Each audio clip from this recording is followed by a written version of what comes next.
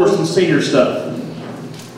My speech will mostly be around uh, everything credit-wise, after school, military, anything like that. So uh, the very first bit of information I want to give you is I am the counselor for last names A through K. Miss Danny is the counselor for last names L through Z. Now, that doesn't say that I don't see some people that alphabet is with her.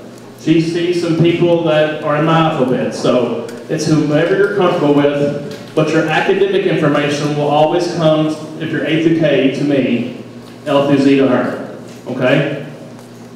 Second thing, the most important thing you that you can do this year as a parent is to do the senior remind. It's at the very top left-hand corner.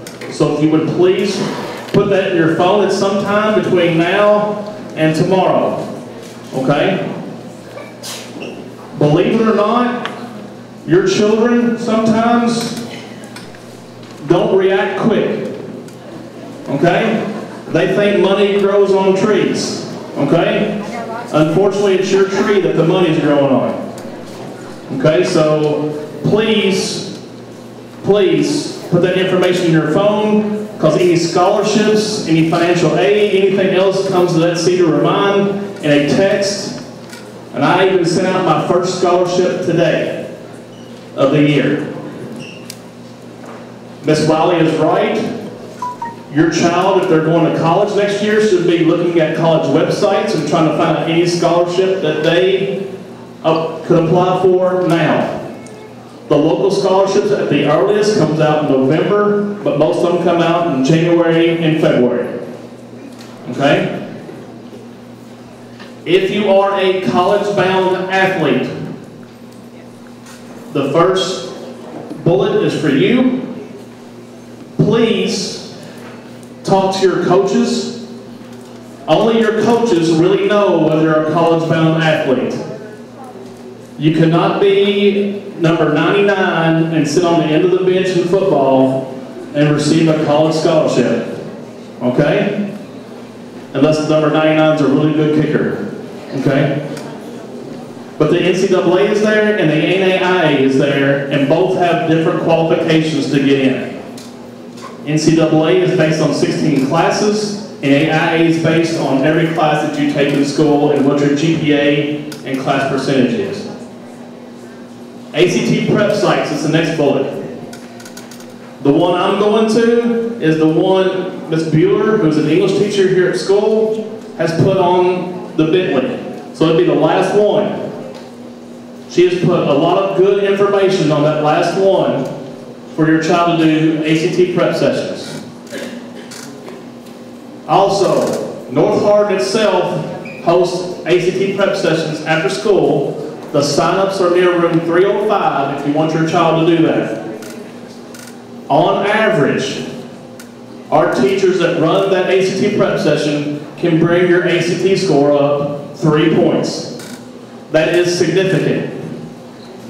Okay, they can teach little tricks to help you out, and for the most part, you come up three points. Students wanting to request their transcript to go to a college must do so through parchment.com.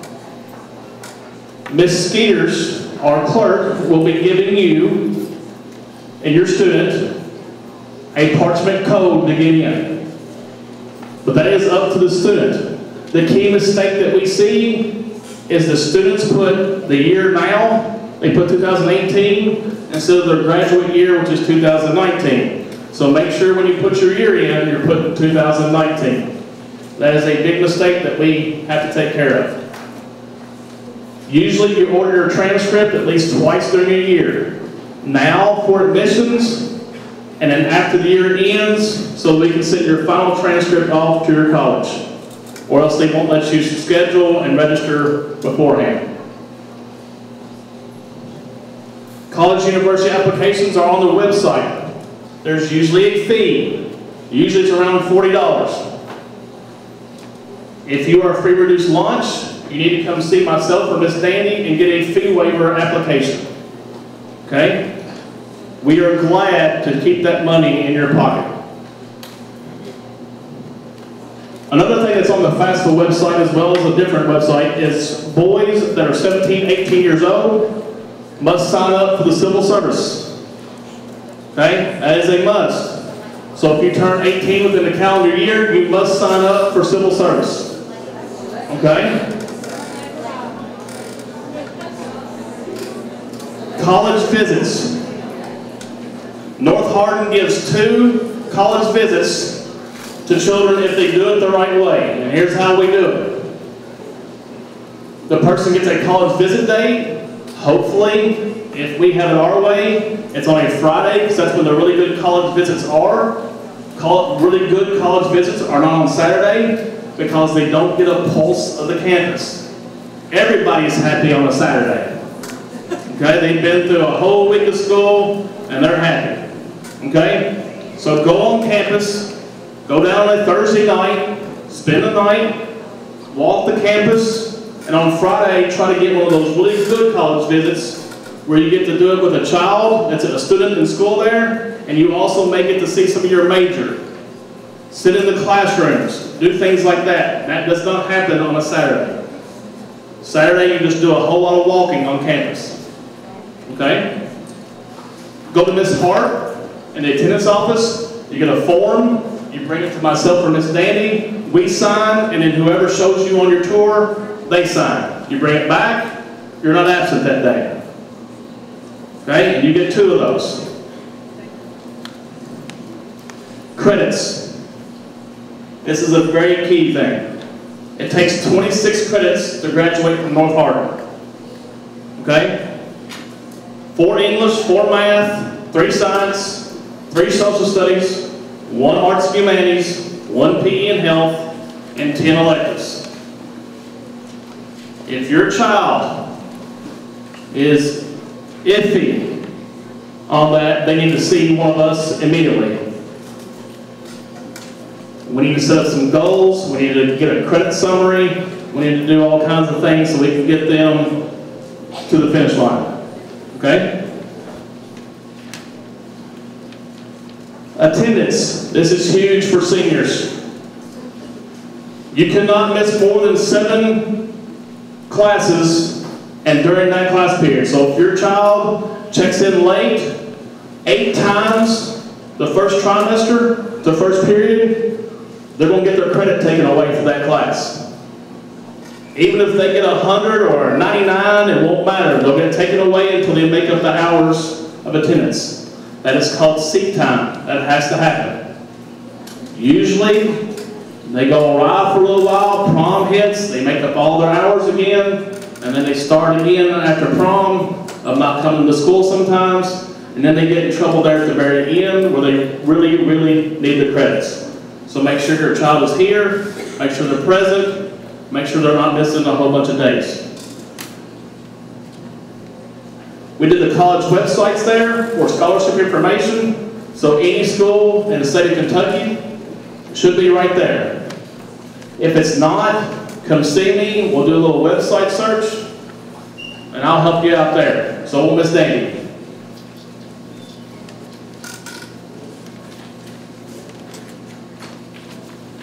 Free scholarships. Everybody likes that word. Please go to some of those sites to see if you qualify. Yes, there is scholarships for left-handed people.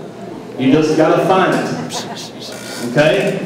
You got to see what you qualify for. You got to search and search and search. Okay? The next page, these are the local scholarships that we gave out last year. So, when I'm texting you this information for scholarships this year, look for these. I will give the scholarship name, the criteria for the scholarship, whether it's a 3.0, essay, two letters of recommendation, I will give all that. I will give multiple information to see if your child now, if you have, your child has a 2.7 and the scholarship says 3.0, can't go for that one. At no time during the year probably will come up three points. Okay? We will help, we will help, we will help your child to do anything. We just gotta communicate and talk, okay? A lot of these scholarships are military. Some are through sororities and fraternities in the local area. Some, you, there's a Kentucky Concrete Scholarship. So look at the criteria for that one, see if you qualify.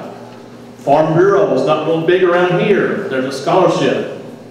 Usually one person goes for it and gets it for North Hardin. Okay? Also, here's the key word to cut your scholarships almost in half to maybe three-fourths is this word, essay. If your child sees essay, most of them will not go for the scholarship. It cuts it almost in half to three-fourths. They're not willing to do it. What they do not know is that you could probably use the same essay for this scholarship as for this one, as for this one. Okay? So, if you get that, my mother last year, my son graduated last year, my mother was in charge of his scholarships. Whenever his scholarship came out, he had a folder on his bed that night from her. God bless her. He had a folder right there. And she gave him a timeline. This is in a week. It wasn't in a week, but she was making sure that he did it in a week. Okay? Out of all the ones he filled out, 24, 25, somewhere around there, he got two. Okay, but that's still two. That's helping our family out immensely. Okay, so every little bit counts.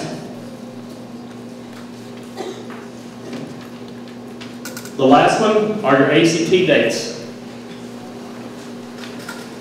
Here's how important this is. For admission, you can go all the way to the June test date for admission. For scholarships, you got to have your ACT score by November. So even the, the December test sometimes will not get in in time for them to give you a scholarship. Most public schools in this state, I'm talking about the Kentuckys, Louisvilles, Westerns, Easterns, things of that nature, they work backwards. They give their scholarships to the 36s, 35s, 34s, and then they move downward a good goal for you. First time taking that test, I want to see a 21. Second test, I would like to see the first qualifying scholarship score, which is a 24. From there, it goes to 28 for most schools. And then from there, it goes to 31. So you can see the discrepancy between that. Also remember, Kentucky is a, considered a southern state, which means this. They have minority quotas that they have to maintain. So, a lot of our scholarships in this state have minority scholarships. So if you're Native American, African American, Hispanic, from Korea, from India, please make sure you pay attention to that. The qualifier for UK only is a 3.0 and a 21 that gets you $3,500 automatically. Okay? So as you can see, you rise your score, the, two, the costs keep on going up. Okay? We are here to help your child. There is nothing better than when a child comes to us knowing what they're going to do. Signing with the military. Getting a college scholarship. Getting that hard-to-work job that they worked for at EC3 and then all of a sudden Akebono is offering them a job that is way up there and they never even have to set foot in the school. All those are wonderful things to us and to be honest with you, it's why we do what we do is because of your children and their success. We will talk to you. We will meet with you. I'll go, I know Miss Danny will too, we'll go to the nth degree for your child. And we're willing to. You just got to ask. Make yourself present, and we'll try to help out as much as we can. Thank you, guys. Miss Sadie? Thank you.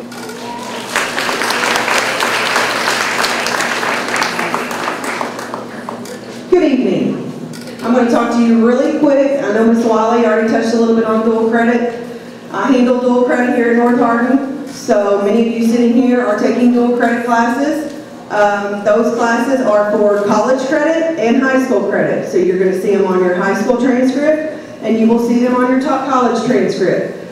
The biggest thing I say when I go into dual credit classes is, if you are going to sign up to take a dual credit class, know what you're signing up for. It is a college class for a reason. I don't want kids to get a DC in a dual credit class and they start out college with a 1.0 GPA. Okay? So think about that. So if you're doing dual credit, take it seriously because it will be on your college transcript and that GPA is calculating as of now. Okay? Now, the state will pay for two classes per student. Some took it as juniors, some don't take it until their senior year. That's fine. In order to qualify for the dual credit classes, a lot of those are based on ACT scores and the benchmarks. Okay?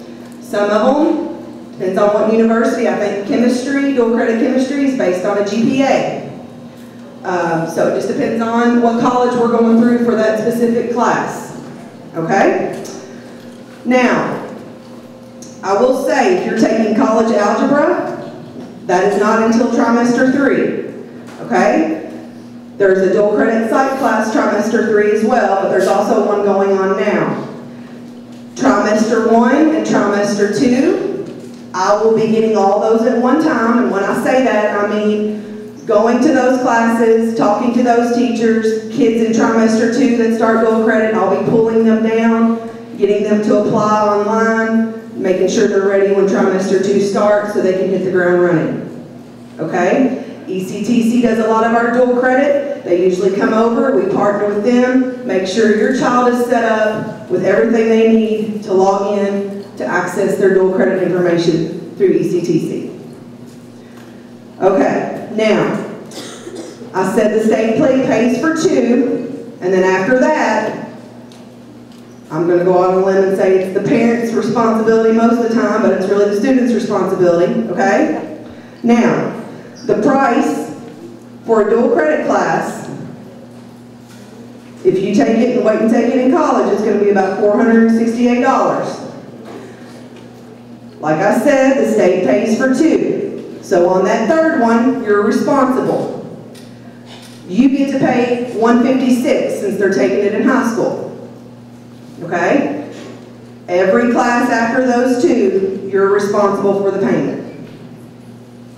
All right, now, some of you are logging in to your KEES account looking for the dual credit thing.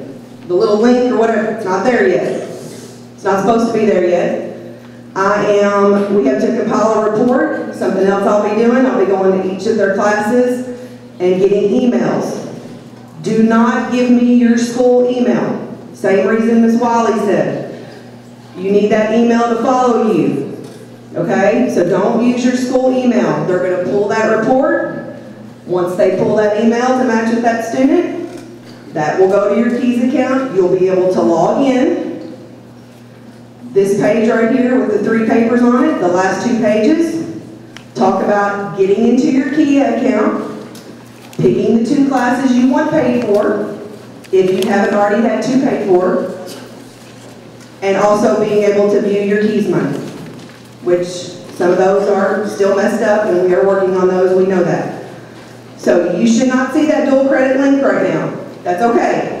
You'll probably see it, like she said, at the beginning of September, and then you can get on there and start picking, okay, I want them to pay for English 101 and 102, and then after that, I'm covering the rest. I will tell you, if you do not get on there and specify what you want paid for, they will not pay it. Okay? I can't log on, Mr. Campbell can't log on, you all have to log on and do it to that account and pick those classes. If you have any questions, I'll be happy to help, but we do not have access to those accounts. So make sure you pick those classes. I think I've covered everything. If you have any questions, you can always email me. Yes?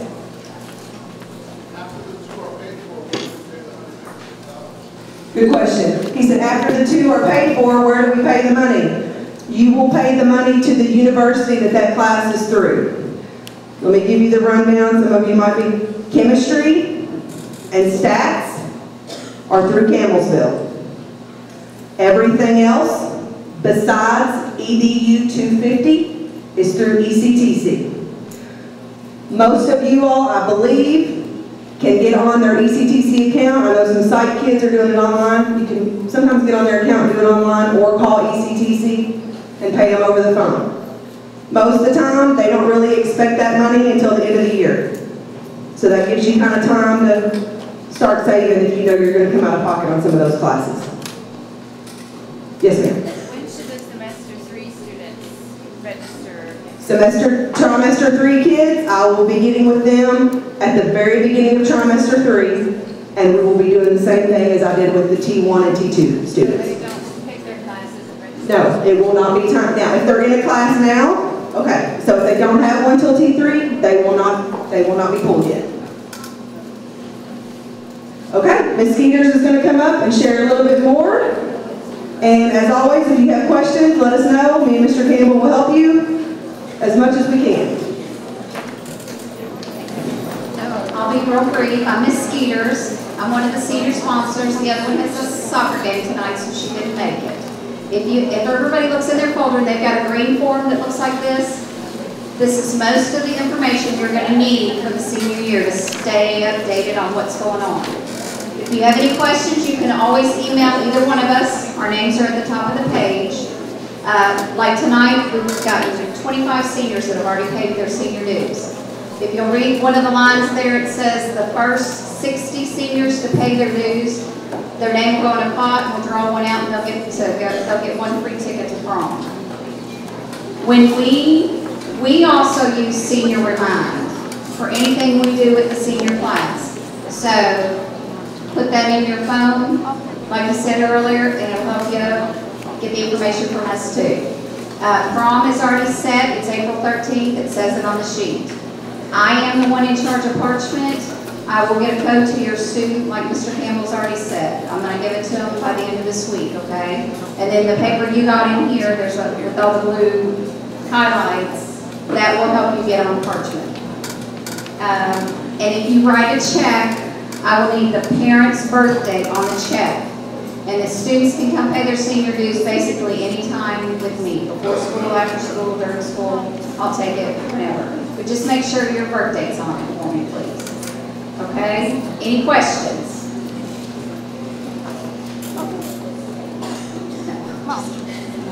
You have a question?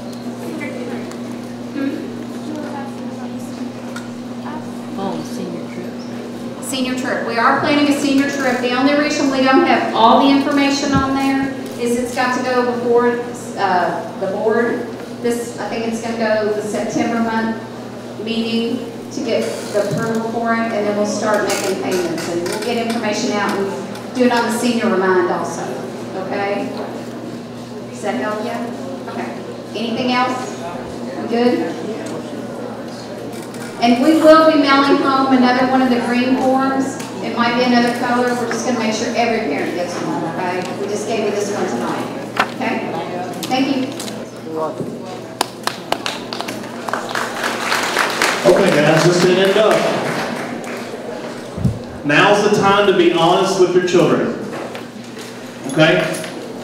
They need to know that Bellarmine, which costs fifty-seven thousand dollars per year, and they give you ten thousand dollar scholarship, that that's still gonna be really, really hard on the family. Okay? Be honest with your children. When your children come in to see us, if you come in to see us, I'm going to be one hundred percent honest with you. It's the easiest way to hand out information to each other. You be honest with me, your child's being honest with me, I'm going to be honest with them. That way we get it all out there in the middle and we can make solutions from that. We already have five colleges coming to see us. That's been on your, your students' mind already. University of Kentucky, University of Louisville, Alabama Huntsville, Transylvania, and Bellarmine are all, all coming in for a visit. We will be doing a minority trip probably to the University of Kentucky and the University of Louisville both this year. They want uh, our minority students on their campus. So we will be taking a trip, and that will be the top 40 minority kids in our school. So make sure your child signs up for those trips. It doesn't matter to me. I'm a die-hard University of Kentucky fan. But if the University of Louisville offered my child a full ride, it would be go-karts. And that's really tough for me to say right now. Okay? So, I tell you all about a minority trip. If you're the parent of a minority, and they can go to UK and U of L, and UK offers them 45,000, but they really want to go to U of L, and they offer 35, then either you should probably go to the University of Kentucky, or you should go back to Louisville and say, listen, the school down the road just offered me ten more thousand dollars. What can you do? You play colleges against each other, because guess what they're going to do right now? They're going to play your child against another child. So just do the same. Okay? I really, really, really appreciate parents and students alike coming out tonight. And this is why that North Hardin is such a wonderful place uh, to work and to go to school. Thank you all.